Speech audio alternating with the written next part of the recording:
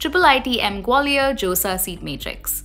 Atal Bihari Vajpayee Indian Institute of Information Technology and Management or IIITM Gwalior ranks number 78 in the NIRF 2022 engineering ranking.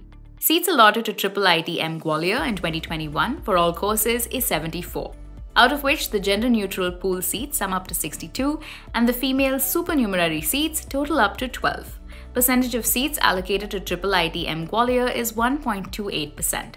Category wise seat distribution course-wise seat allocation for the courses offered at IIITM Gwalior and their opening and closing ranks in 2021. In 2021, the most preferred engineering course at IIITM Gwalior, based on the opening rank, was Computer Science Engineering. Watch the full-length videos on the College Suggest YouTube channel.